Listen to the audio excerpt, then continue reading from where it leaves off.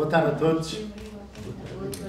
Com muito orgulho tenho esta uma semana aqui neste espaço que está pensado há 15 anos, que finalmente vai ser inaugurado. Tenho que agradecer a todos que, que nos ajudaram neste, neste projeto. Esta casa, desde o início, tem esta vertente de toda a gente que este espaço está aqui foi construído pelo, pelo povo e o povo, deste, mais este projeto, não, não, não nos abandonou e conseguimos ter este, este, este projeto. Claro, com, com a ajuda da Câmara Municipal, ajuda da Freguesia. Hoje, especialmente, fazer homenagem a uma pessoa que sempre fez parte desta casa, que é o Sr. Luís da Costa, que 20...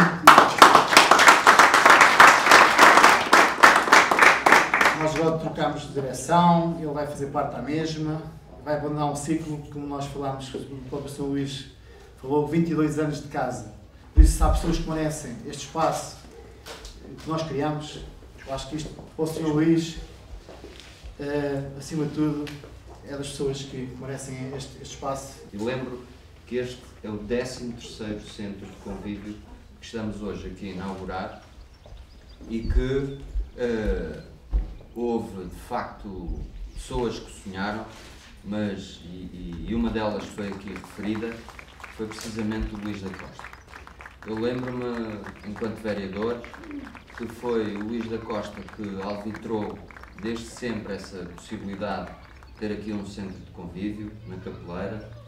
E portanto, Luís, depois de muitos anos, de muitos anos, de teimosia, de energia, de garra, efetivamente, acho que não só uh, também estás de parabéns, como seguramente estás feliz por dentro, alegre. Este projeto é um projeto que se encaixa dentro de uma estratégia maior que o município tem vindo a desenvolver ao longo do, dos anos. É de facto um dia feliz, dizia eu que ele faz parte de uma estratégia maior. Uh, muitas vezes eu ouço aqui ali na rua que era preciso fazer mais esta obra, mais a outra, mais a outra. Uh, mas há uma obra uh, que essa não se vê, às vezes sente-se, e, e, eu espero que, que todos tenham a oportunidade de sentir menos essa obra, que é a dimensão social.